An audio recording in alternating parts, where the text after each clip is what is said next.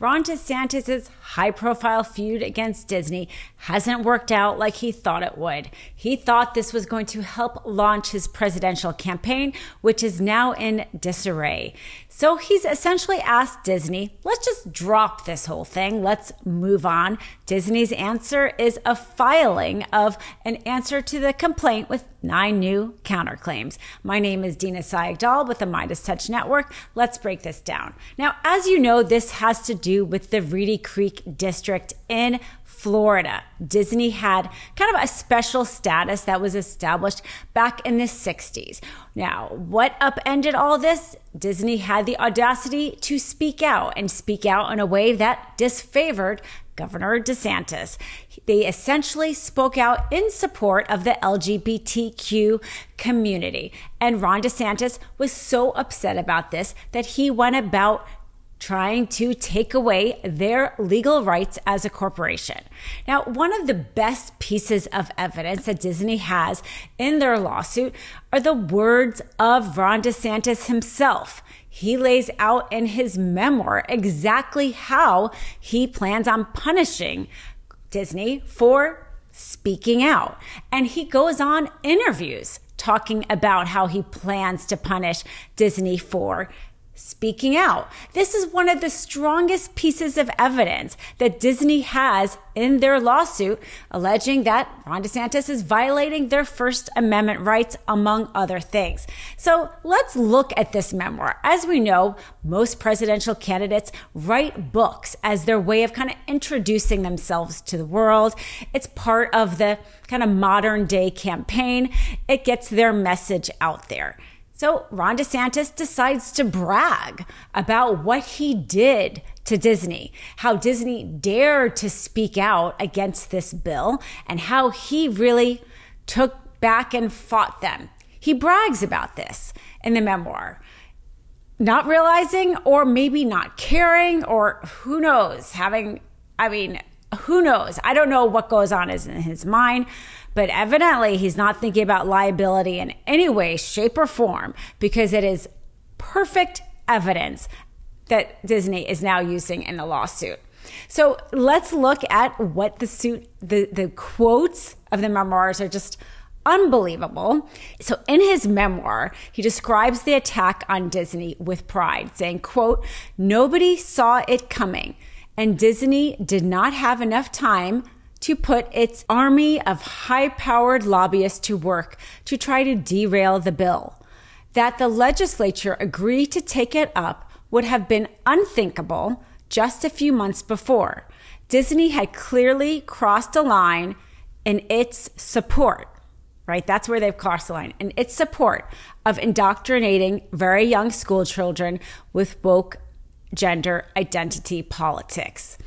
So, you know, in the lawsuits, basically now Ron DeSantis is trying to say that Disney wasn't being singled out, that they just wanted to abolish these kind of districts in general.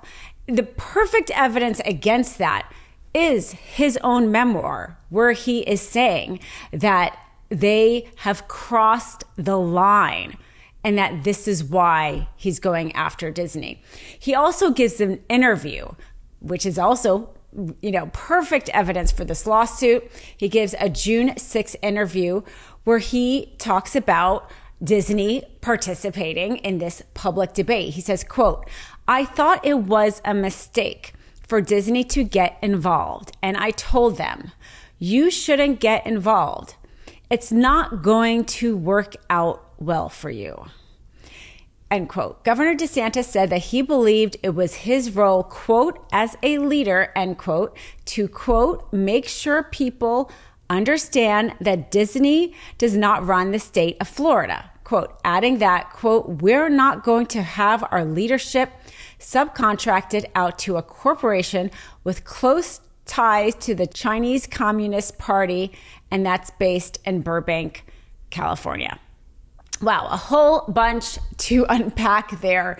But he's essentially you know, he he's targeting Disney. He's not even trying to make that hidden right? In all of his public statements, in the interview, and his memoir, he here's another part of his mem- memoir. He describes the attack on Disney with pride, and and and and he doesn't even hide it, right? He's not even really trying to hide it, and and this is kind of the the irony of it all is that he did he did all that because he thought his supporters were going to rally around him.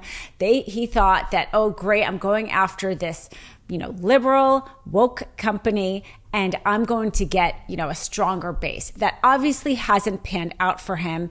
He's not going up in the polls. He trails far behind trump it's not working out for him. What has happened instead is that Disney outmaneuvered him, right? First, he tried to kind of abolish the district altogether, found he couldn't because it would raise taxes.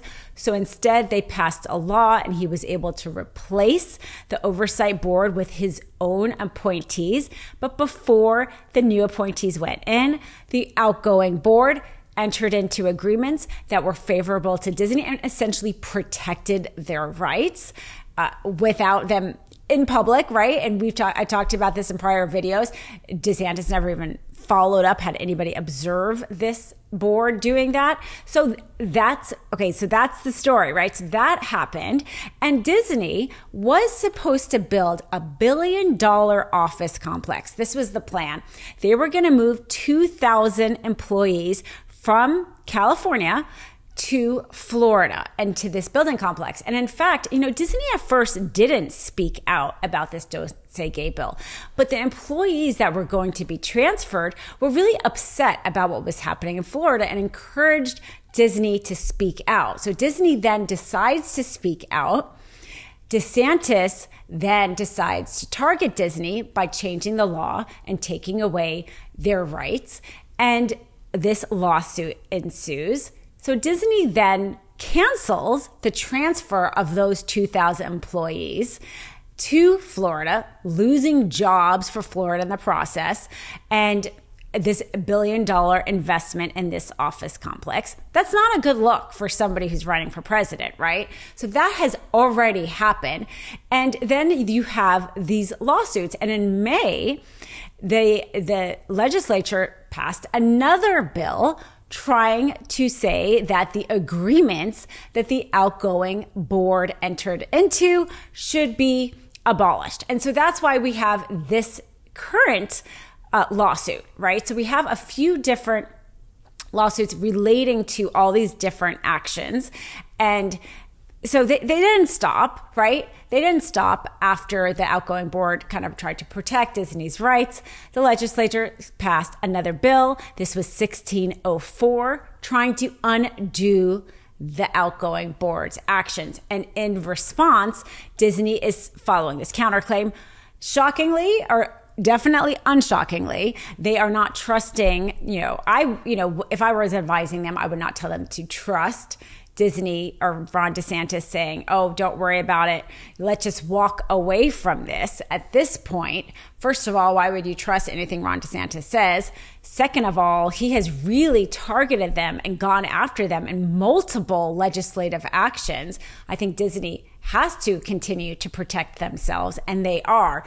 So let's read a little bit from the current counterclaim they're, one of the things is the takings clause. And they're saying here that the district's legislative declaration and enforcement of senate bill 1604 that's the bill that was just passed in may trying to undo the outgoing board's agreements. Take disney's property without providing just compensation in violation of the takings clause of the Florida Constitution, Article 10, Section 6A. The takings clause provides no private property shall be taken except for a public purpose and with full compensation, therefore, paid to each owner. The issue here is that it's not a public purpose. This is just Ron DeSantis's trying to run for president, trying to make a name of for himself off the back of a feud with Disney. That's essentially what was happening here. He was trying to make a name for himself off the back of a feud with Disney. It backfires when you do that to one of the largest corporations in the world. Uh, they're not going to take lightly when you uh, try to restrict their free speech, never mind interfere with their valid contracts. Um, another claim is their due process clause violation. Again, the district's legislative declaration and Senate Bill 1604 abrogate the contracts without any rational basis and for only impermissible reasons in violation of the due process clause of the Florida Constitution, Article 1, Section 9. The due process clause provides no person shall be deprived of life, liberty, or property without due process of law. Because the right to make contracts is both a liberty and property right and, was, and is within the protection of the guarantees against the taking of liberty or property without due process of law, the state is prohibited from imposing any arbitrary or unreasonable restraint on the freedom of contract. Restraint on the right to contract thus can be justified only by exceptional circumstances. So the district cannot make that showing here. The legislative declaration purporting to abrogate the contracts was not enacted for any non arbitrary or reasonable state interest, nor was Senate Bill 1604. They were instead enacted to further an official state campaign of retaliation against Disney for expressing a viewpoint that Governor DeSantis and his legislative allies disagree with. And that is really the the crux of it is again DeSantis in his own words makes it so easy for Disney to be able to prove that. Uh, again let's talk about in the complaint there all they have to do is quote him. Really all they have to do is they quote him in his memoir in the washington post article in his interview. It is all just too good how his own words reveal how illegal really his conduct was so his his memoir entitled The Courage to Be Free Florida's Blueprint for America's Revival. And again, in he wrote a Wall Street Journal opinion right around the same time, kind of announced conjunction with the release of the book. And he's, I'll read from the complaint. He's criticizing what he called left wing activists working at Disney's headquarters in Burbank. Governor DeSantis focused on Disney's opposition to Florida House's Bill 1557, that's the Don't Say Gay bill, and said, quote, when corporations try to use their economic power to advance a woke agenda, they become political and not and not merely economic actors. In such an environment, reflexively deferring to big business effectively surrenders the political battlefield to the militant left. Leaders must stand up and fight back when big corporations make the mistake, as Disney did, of using their economic might to advance a political agenda. We are making Florida, the state where the econ- economy flourishes because we are the state where woke goes to die. Again, he thought this was going to be wonderful for him to do this high profile fight with Disney to get him all this attention.